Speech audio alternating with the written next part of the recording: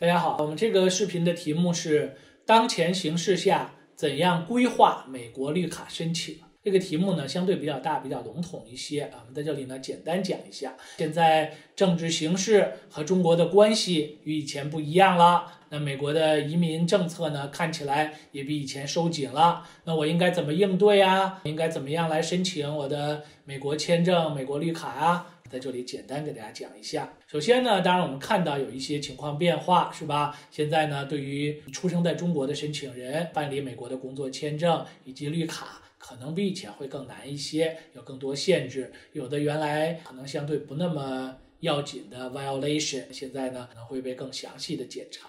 申请人需要相应的避免一些陷阱，不要打擦边球。然后呢，当然我们知道现在这个，比如说汇率变化造成呢这个学费和其他费用负担就不一样。然后在美国就业呢，这也是一个挑战。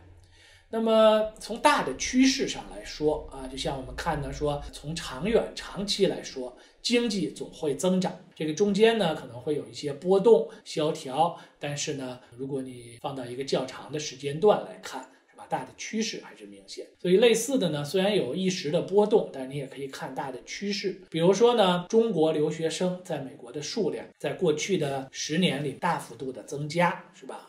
这个呢大家都看到。所以呢，相应的，因为绿卡的名额并没有增加，虽然也没有减少，但是申请人增加了，所以呢，那么早晚呢会有名额这样的问题。这个此前呢我们也都讲过，当然了，实际上可能发生的比我们预计的还要快一些。因为除了一个需求和供给的问题以外呢，还有美国的新总统、新政府政策问题。那么我们还要看到呢，这一方面为什么有这么多中国留学生在美国嘛？这还是因为美国的签证政策相对来说呢比较宽松。当然，这个人嘛肯定有这个被拒签的。那么呃，同时呢，美国的这个移民签证政策呢允许申请人在等待和申请绿卡期间呢，可以用其他类别的签证留在美国来学习。工作来等待，那么为什么申请人的数量大幅度增加了呢？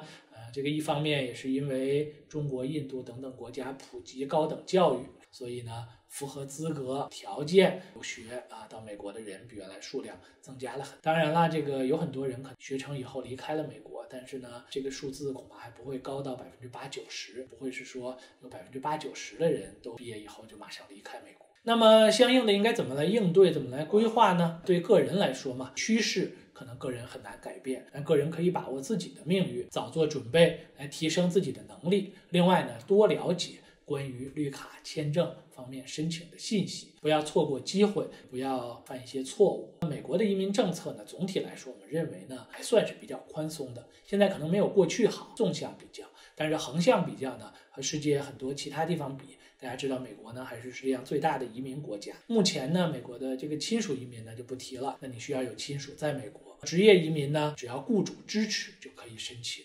这一点呢，应当说呢，比加拿大、澳大利亚等等地方还是比较灵活的。也有一些政治家讲到说要改成打分制啊，要放开。但是从这个角度呢，也有一些现实的后勤方面的问题。比如说，举一个例子，现在的抽签移民，然后呢，只允许世界上一些国家来申请，像人口众多的国家，申请人可能也比较多的国家，中国、印度、墨西哥等等都不能办这个抽签。即使如此，每年在全球范围有两千万人左右提交这个抽签移民的申请。那么类似的呢，我们可以猜想，可以考虑预测到，就如果说美国移民放开采用打分制，全球都可以随便申请，恐怕每年呢会有几千万人申请。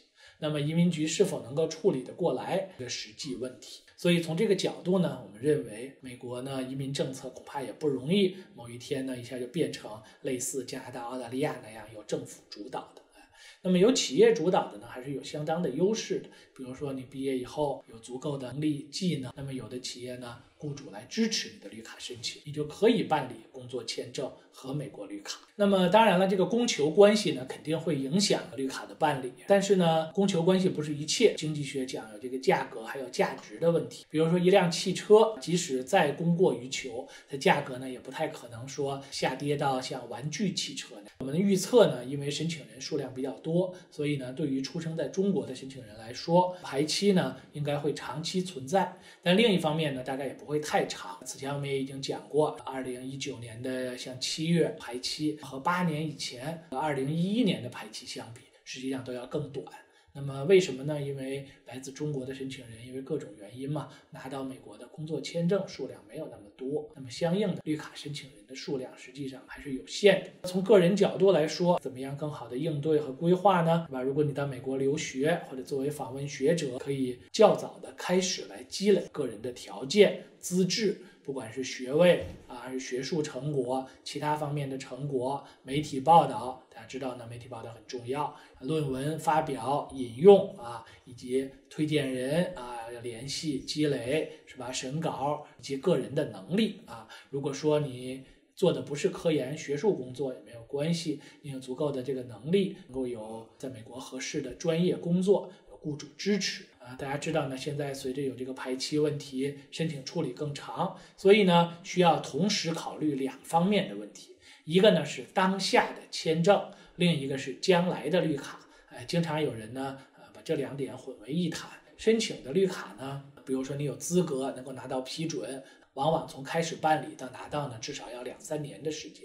与此同时呢，如果你想继续在美国生活，和工作，你还需要在当前保持有效的签证身份、工作许可，包括学生签证，毕业以后可以有 OPT。啊，如果你读不止一个学位，毕业以后呢，还可以有新的 OPT。如果是理工科 STEM 专业，OPT 可以延期。另外呢，也还可以有工作签证。有很多人问到说啊，我申请幺四零 Perm 会这个绿卡会不会和我的签证申请 OPT 延期，或者我办理工作签证申请中间有什么冲突吗？一般来说是没有的。这个呢，我们也有专门的视频讲到，有了移民倾向会怎么样等等。可以参考。那么当然有工作签证最好，如果没有能够保持或者过期了呢，也可以转成学生签证或者访问学者签证或者其他的签证，或者即使你离开美国，将来再返回，你提交的绿卡申请一般来说呢会继续有效，然后仍然可以让你在将来拿到美国绿卡。好我们这里呢就是一个简单的一个更新啊情况在当前形势下怎样规划美国绿卡申请。好谢谢。